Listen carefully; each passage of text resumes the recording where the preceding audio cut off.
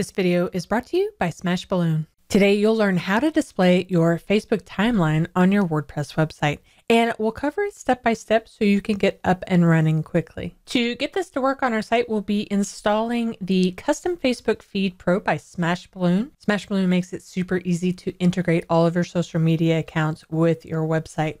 You can also use Smash Balloon's social post feed. This is a free version of it. It'll bring over your title and links, but it won't show your photos. So if that's important, then you'll want to make sure that you upgrade to the custom Facebook feed pro. So you can go to smashballoon.com and you can make sure you use promo code WPB VIP and you'll get the best discount on Smashballoon. Once you've set everything up, make sure you log in to your account. From here, we can download the plugin and go ahead and make sure you copy your license key as well.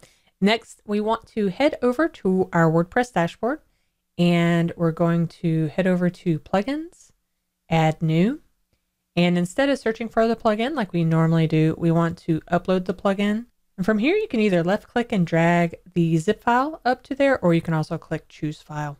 Want to make sure you click install now and stick around to activate the plugin as well. Great. Once you see the landing page saying welcome, we can come over to the left Let's go to settings so we can go to the license tab and add our license key.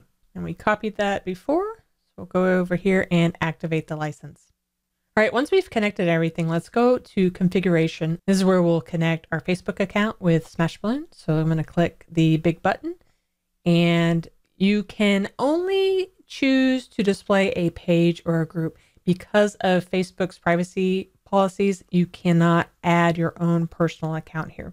So for this one, I'm going to do a Facebook page. From here, you can choose the page that you want to connect to and make sure you click on the connect this page button.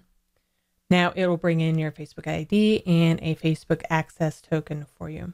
Great, now that everything is connected, we can scroll down and make sure we click Save Settings to save the connection. Next thing we want to do is create a post or a page wherever we're wanting this timeline to live. So I'm going to head over to pages, click add new, and I'm going to create a new page. And to add it, we want to click on the block for the little plus sign for a block. You can do it either here, or if you see a block up here, you can do it as well. And when you click on block, you can search custom Facebook feed once you click on that, it'll automatically start to bring in the feed so you can get a preview of what it looks like. You notice it brings in the title, the image, the description, as well as the likes and shares that have happened with each of these posts. That looks pretty good. So we'll go ahead and publish this. And then we can view it on our site. And that looks pretty good. So the next thing you can do is we can actually go in and make some adjustments or customize the feed. We'll go back to our dashboard and go to Facebook feed and click on settings. We can scroll down here and these are the settings that we can do. So we can say it's a page, you can show only posts by the owner. And you can change that to show owner and other people if you're wanting to increase user engagement on your Facebook page. You can choose to show how many posts to display by default and then do the load more underneath. Now we can save settings and clear cache. And then you can go to the Customize tab to customize the look and feel of it. And when you go to Customize, you also can go to Post Layout, and this will give the look and feel of the posts. From here, you can choose to do a thumbnail look, a half width, or the full width. This will change it to half width. Next, we can go to Style Posts.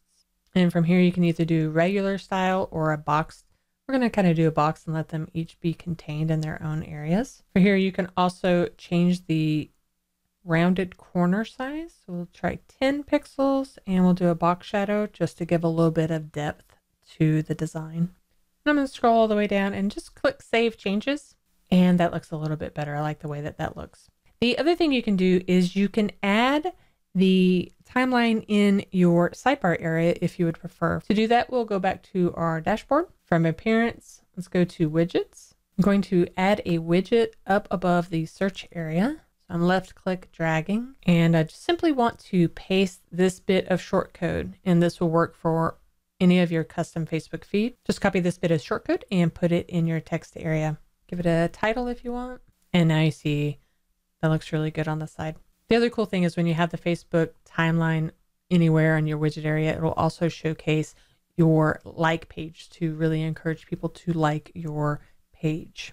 And if you want to do more with your social media accounts, then make sure you watch this video next where I show you how you can use Instagram to grow your YouTube channel. And thanks for watching.